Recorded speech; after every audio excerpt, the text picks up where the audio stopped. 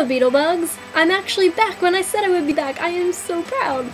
I actually was thinking of not making a video today. Well, it's technically, it's Monday. Is it? Yeah, it's gonna be Monday for about 45 more minutes. Uh, but I wasn't going to because I have a video final due tomorrow night that I didn't start editing yet. um, and I also have a final due Thursday. So even though thesis and capstone are finished, I still have four finals and it's making me really sad. But I'm making a Beatles Scruff video, which is making me happier as time keeps ticking as I'm making this video. But, but let's move on to what I wanted to talk about in this video. A few weeks ago, I saw the Beatles tribute band 1964 The Tribute. That is its full title. I wasn't being redundant, even though I was. Shut up. And they were great. They were fantastic, and I keep wanting to say they're one of the best Beatle tribute bands I've ever seen, but the truth of the matter is, like, all the Beatle tribute bands I saw are, like, my favorites. Except for, I wasn't crazy about British Invasion, but I think that has to do with the fact I was feeling sick that day. My cat is snoring and it's distracting me. John's voice was stunning. It was spot on, and I told him after the show, I was like, your voice is perfect. George was great too. He was really funny. Um, he had all the George mannerisms down, da uh, down to like looking at the audience and like smiling at them, raising his eyebrows at them. I was in the front. I mean, I work at the theater they were at. Just kind of moved to the front.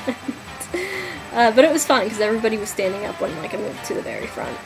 So it didn't really matter because I'm only 5'2", so whatever. And then Ringo. Ringo was great too. Uh, he sang I Want to Be Your Man and he did a good job. At first I was like, uh, but then as the song went on, I'm like, no, he's got that Ringo thing going. He's got that Ringo thing. Paul was great too. Paul's actually 23, the guy who plays him. Everyone else in that band was a little bit older, but Paul's freaking 23.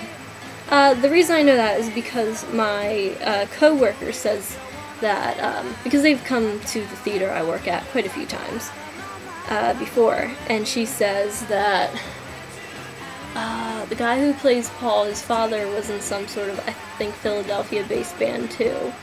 So that's how he got into music, but he also makes his own music, and it's really, really good and poppy. In fact, I posted a video to my Facebook saying, wow, this guy's great.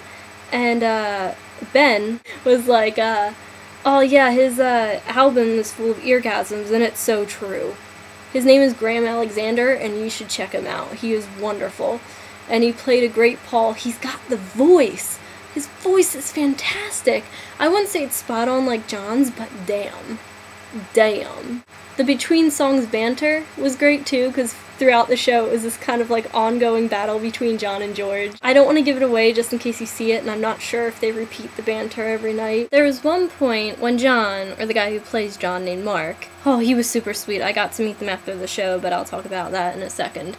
Uh, there's one point where John slash Mark uh, says, Alright, I want you to get out your mobile phones and to call someone you love and let them listen to this next song with you, but don't wave it around because they won't really hear it. So um, I wasn't really sure where he was going with that.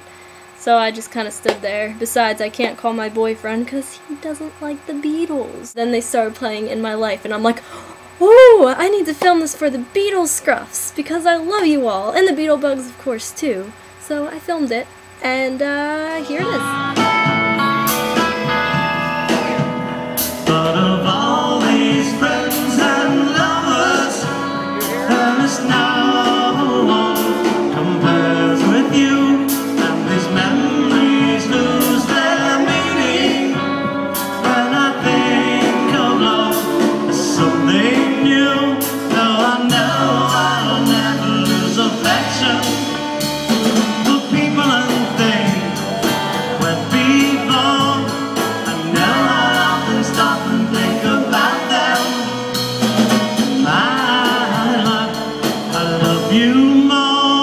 Also got to meet the guys at the end. They did a little meet and greet with anyone who cared to stop by.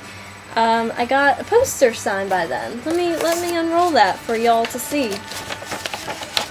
Beautiful, beautiful, beautiful. I love the colors and everything.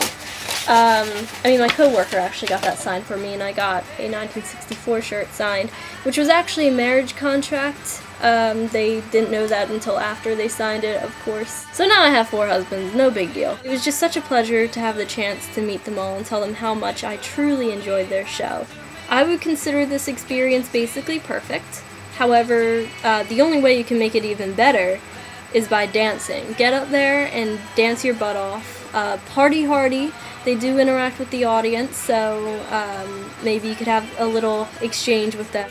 It took me a while to actually start dancing. I was a little embarrassed, but then this drunk woman came up to me and I was afraid she was going to like grind on me or something if I didn't dance away from her.